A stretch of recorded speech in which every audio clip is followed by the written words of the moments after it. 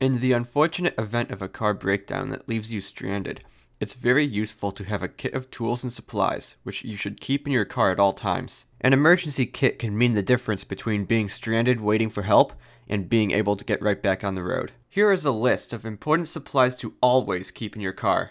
Jumper cables, roadside flares, spare tire and jack, first aid supplies, bottled water, granola or energy bars, small tool kit, a flashlight, car escape tools such as a seatbelt cutter and a window breaker, road maps, blankets and extra clothing, especially for colder climates, a car fire extinguisher, antifreeze, a roll of duct tape, washer fluid, paper towels or rags, two quarts of oil, and a no-spill gas can. You can often find these items being sold as kits online or at automotive stores. If you find yourself stuck on the side of the road and can't receive immediate help, a kit containing these items will prove very useful.